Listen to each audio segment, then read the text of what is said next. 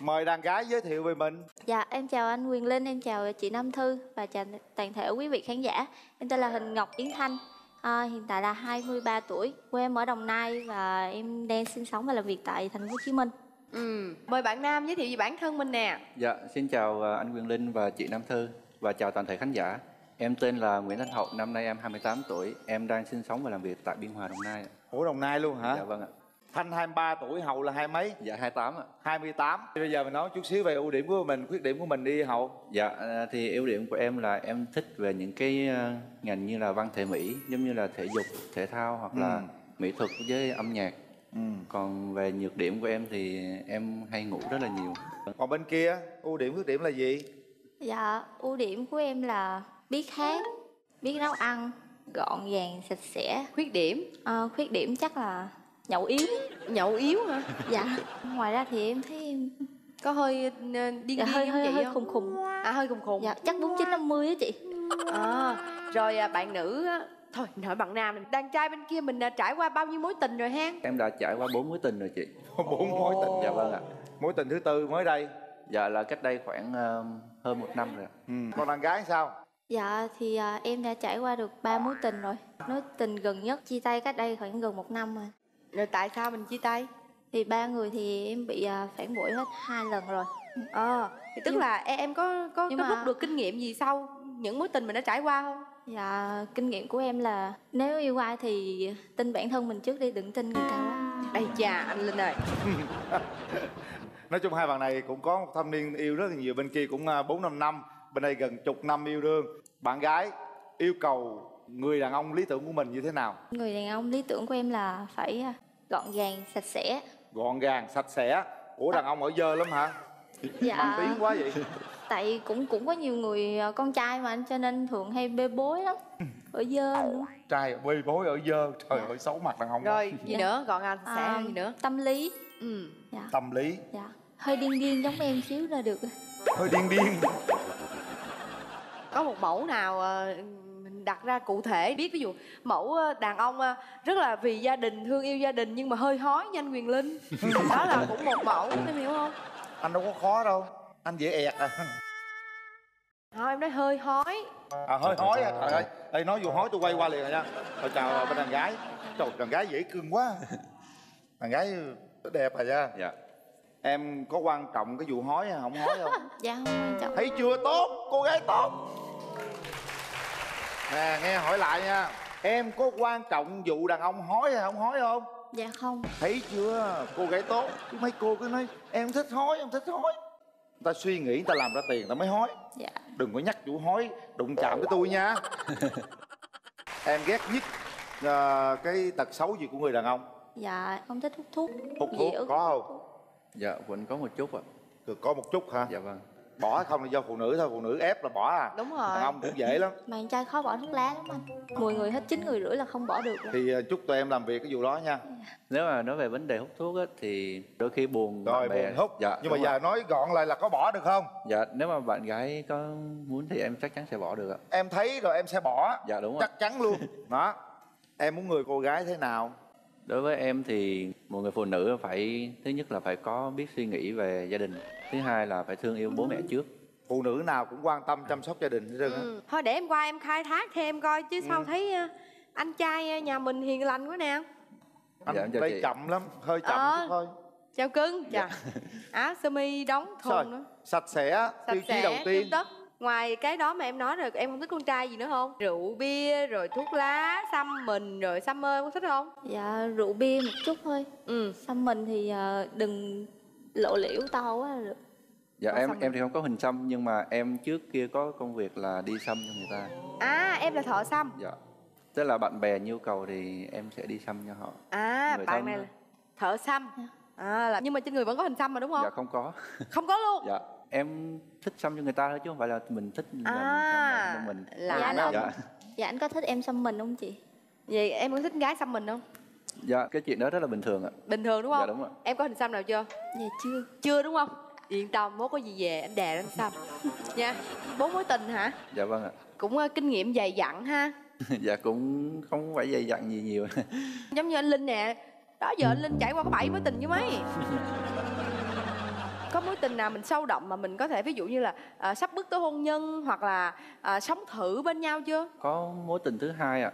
Em với bạn đó là cũng quen nhau cũng có thời gian sống thử trong tức là em và bạn gái em đã từng có thời gian sống thử? Dạ vâng.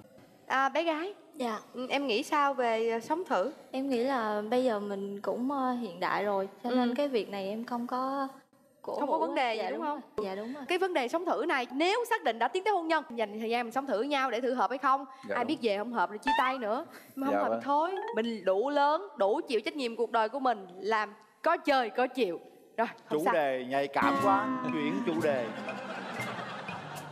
điểm gì em không thích ở con gái em không thích con gái là cái tính không rõ ràng. Đôi khi cảm xúc của họ là mình không bao giờ mình hiểu được. Nếu mà muốn mà tìm hiểu phụ nữ chắc cả đời chắc không bao giờ hiểu được. Sao mà ông trải qua tới bốn mối tình rồi mà ông cũng chưa có thể đoán được cảm xúc phụ nữ? Thực sự phụ nữ chúng tôi hết sức là đơn giản. Hỏi muốn gì cuối cùng duy nhất Gì trong tình được. yêu không phải là gì cũng được mà muốn người đó yêu mình nhất mình phải là số một trong lòng người đó. Phụ nữ không bao giờ sai ta nói con gái nó có là không con gái nó không là có hiểu không? Cứ làm ngược lại và luôn nắm tâm lý. Phụ nữ là luôn muốn sở hữu. Tính sở hữu của phụ nữ sở cực hữu là kỳ cao. bộ ta sổ đỏ sổ hồng thôi sở hữu. Bộ ta đất đai sở hữu. Giống như ký vô cái tờ giấy mà đăng ký kết hôn rồi thì cũng là, là, là sở Ôi, hữu. bà mối ơi bà khó bà mối ơi. Tin tưởng nhau là chính chứ không phải là yêu nhau là sở hữu.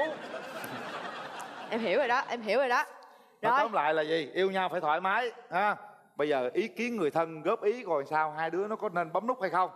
Đàn gái đi với ai? Dạ hôm nay em đi với ờ, sếp của em và chị họ. Sếp.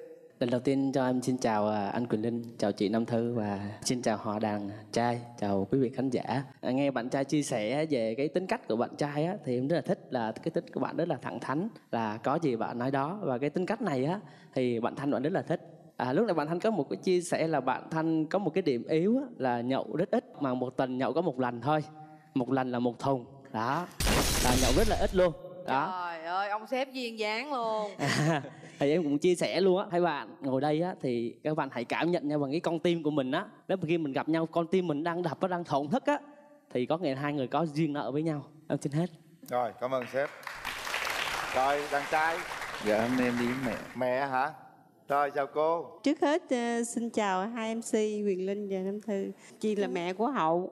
cô thấy ờ, Dạ, Cô con thấy ờ, em bên này cũng đẹp gái dễ thương, à, hiền hậu mà cô rất thích. Cô Không, à. làm thợ may rồi cô về nếu mà quần áo gì cô may cho con. Cô cũng muốn con về nhà cô cho vui nhã vui cửa. dạ à, cảm cô rất cô. thích. cô Ráng dâu cho cho lắm. nhau cơ hội nha con nha. dạ dạ cảm ơn cô quan trọng là hai đứa nhìn nhau và cảm nhận thôi. Mở rào.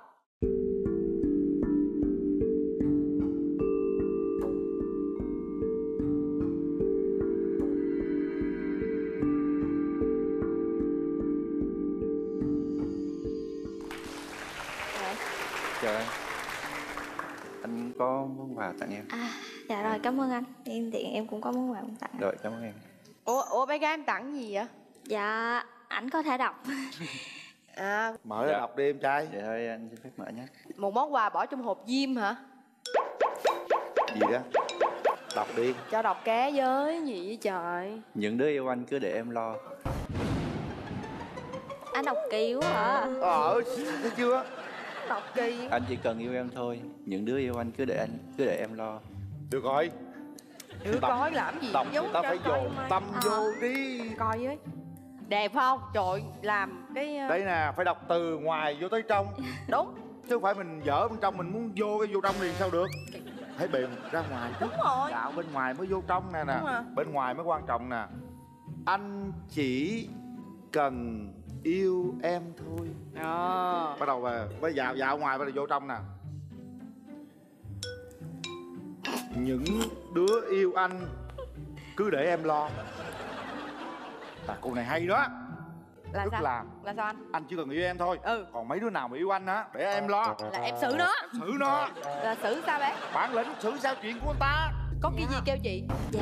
Ừ. Trời chị ơi. máu me ví dụ lắm. Em muốn vô dân hồ Ê. Thôi, thôi. đây nè thí dụ cô gái nói về rất là hay cô này rất là bản lĩnh. Bởi vì sao? Nếu như cô nói là anh chỉ cần yêu em còn mọi thứ để em lo nó ờ khác. khác. Anh chỉ cần yêu em còn mấy đứa mà yêu anh để em lo. Yên tâm. À, yên tâm đàn ông có quyền quen quen gì? Ừ. ngoại giao thôi. Anh thì số bảy hay quá cái quẹt này hay quá. Cái này là hay lắm nha em nha. Dạ vâng ý tưởng hay đó. Đáng lẽ em là phải để mấy que diêm vô đây nữa hiểu không? Tức là nếu mà anh không ổn là em đốt nhà luôn.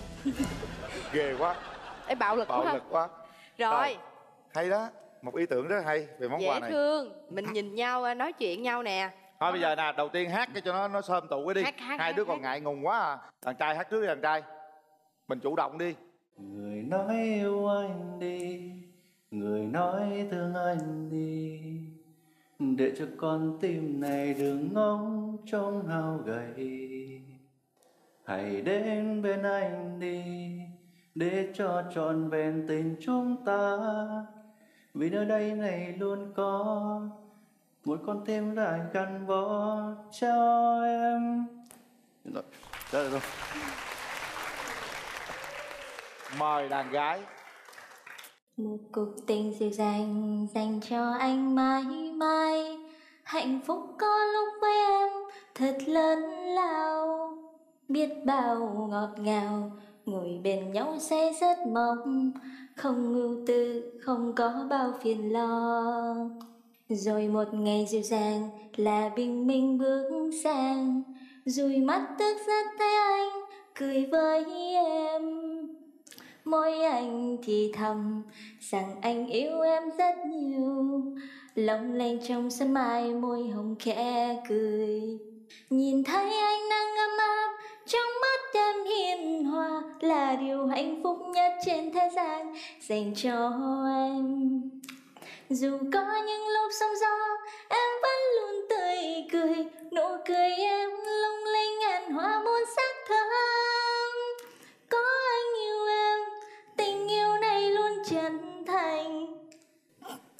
Sao vậy anh? Bài hát rất là hay hát rất ngọt ngào. À. mình nhìn đối tượng bên đây mình hát cho nó rụng rụng tim luôn chứ đúng không? Nói chung là hai bạn hát rất là hay. Bạn gái vừa xinh mà vừa hát hay nữa. Ừ. bài hát rất là ý nghĩa nữa. Thôi vỗ tay cho hai bạn cái. Công nhận ha. Bé tên thanh cái gì cũng hợp hết. Nhìn cái vẻ đẹp thì thanh thoát giọng hát thì nghe nó rất là ừ, lạnh lót thanh cao. Em tên thanh là đúng luôn á. Rồi rồi bây giờ yến thanh thanh hậu hai đứa mình giao lưu đi.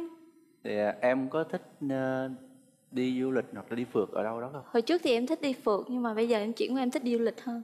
Anh thì khoảng thời gian trước á, anh rất là thích xách xe và anh đi những nơi mà anh muốn đi. Có thể như là Đà Lạt hoặc là có thể là đi Vũng Tàu hoặc có thể đi gần hơn cũng được.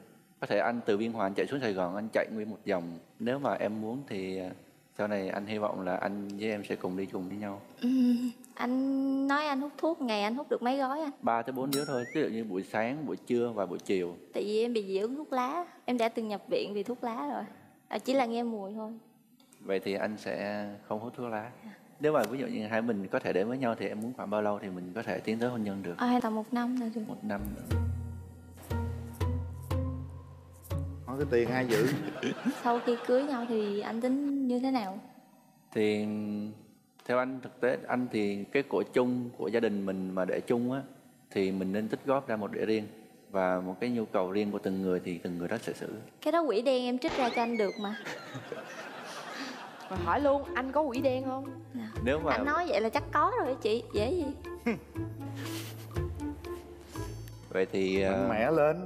nói chung thì anh sẽ vẫn vẫn vẫn sẽ giữ một cái chút gì đó riêng cái cho cái chút đó em đưa cho anh được mà đâu cần anh giữ đâu. Đúng. Tự nhiên quỷ chi?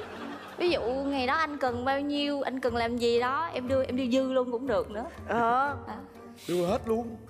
Em giữ luôn mình có bách vật mà sợ gì Thôi thì em cứ giữ hết đi.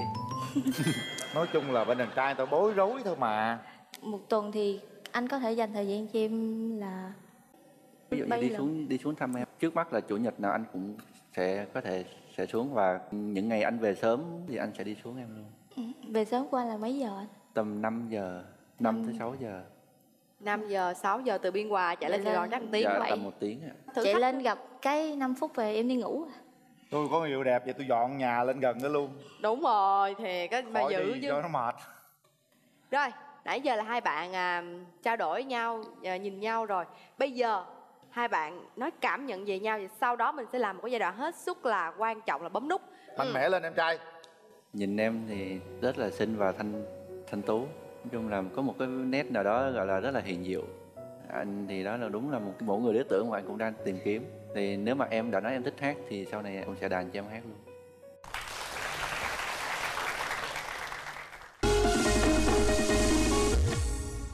Tất cả những câu trả lời của cô gái nó sẽ thể hiện bằng nút bấm. Các bạn có thời gian hiểu nhau rồi. Chúng ta không nên làm khác với trái tim của mình. Trái tim mình mách bảo sao mình cứ làm như vậy. Ba hai. Một. Hết thời gian. Hết thời gian. Yeah. Chúc mừng. Chúc mừng em.